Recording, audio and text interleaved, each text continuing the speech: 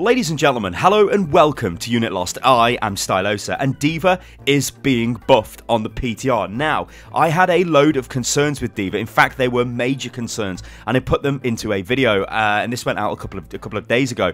The reason for this video was I think D.Va is fun to play. I like the micro missiles ability. I think she's just a more involving hero to play. The problem is though, I firmly believe she's an ultimate battery in her current state, and it looks like the devs have agreed with this. There's been a lot of feedback over, you know, all of the different Reddits concerned with Overwatch on the official forums, like YouTube content, loads of stuff. There's tons and tons of feedback going into Blizzard, and it looks like they're starting to respond because we've got a post here from Geoff Goodman, who is of course the principal game designer. So he is concerned with hero balance, hero design, game design, basically everything, right? But generally, he's the one who makes comments and makes posts on major hero changes. So, this is what he says in response to a thread which says D.Va feedback from a launch week D.Va main in Grandmaster. Uh, that player gives a lot of feedback, but Geoff comes in with this comment. Thanks for the comprehensive feedback. The missiles were a bit too strong at their previous values, especially considering you can now fly and shoot them at the same time. Even at the reduced value, they still pose a serious threat if you can land a majority of them on a single target, especially when used in combination with her weapons and flight. Which, of course, this is the combo I was speaking about. So, if you fly towards a target while firing the fusion cannons and firing missiles into them, you won't hit them with all the missiles, but if you can hit them with like maybe 40% of the missiles and then you smash the mech into them while continuing to fire at them, that is a lot of damage. Um, Anyway, Geoff goes on to say, that being said, there is another change coming to the PTR soon, maybe tomorrow, that will help her out quite a bit. The defense matrix regeneration rate is increasing by 25%. This lets her generally use defense matrix more often, while still keeping the new 2 second cap on a single use.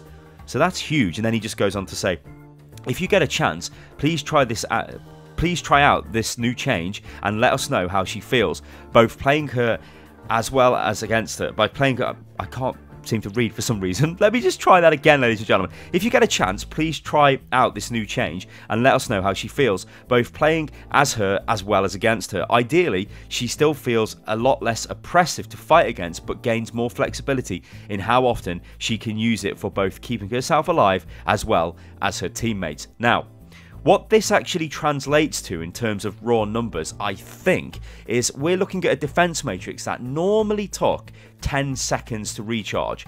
Okay, now it should probably take about 8 seconds to fully recharge. Now, what I mean by this is when you completely deplete the defense matrix, so you hold down your defense matrix button for 2 seconds, the whole defense matrix is gone. It takes 10 seconds for that to regenerate. Now, it will only take 8 seconds. This is actually a pretty huge buff. The problem with D.Va, and this is always going to be the problem with D.Va, is defense matrix. It is what defines this hero. Without defense matrix, she's not D.Va. She needs defense matrix because she's such a big target, she takes a lot of damage, and it's very easy for DPS players like Soldier 76s, McCree's, any kind of hit scan tracers, even Pharah, uh, although she's projectile, to farm D.Va for ultimate charge because she's so big.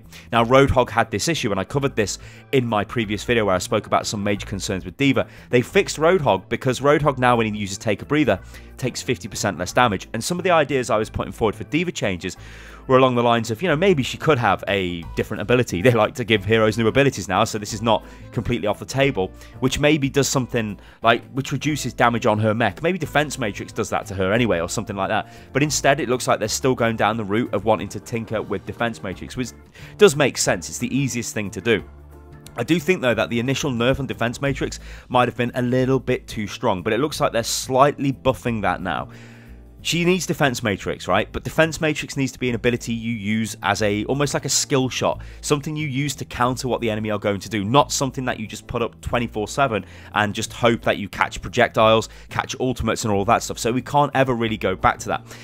I think this D.Va, guys, is going to be a massive point of discussion going forward. And I think she's going to see more and more changes because one minor change either way can make her super strong or can make her really, really weak. And at the moment, I don't think she's that strong. I mean, I had the privilege of watching a couple of pro scrims um, the other night, and the D.Va was just not great. Like, D.Va was not really doing anything to the point of she was just being, well, not used at all because she was too easily farmable. So, guys, let me know what you think about this in the comments below. If you are a D.Va main, let me know. D.Va's in a very interesting position right now. She's fun to play, but is that going to turn into an effective hero? We'll have to wait and see.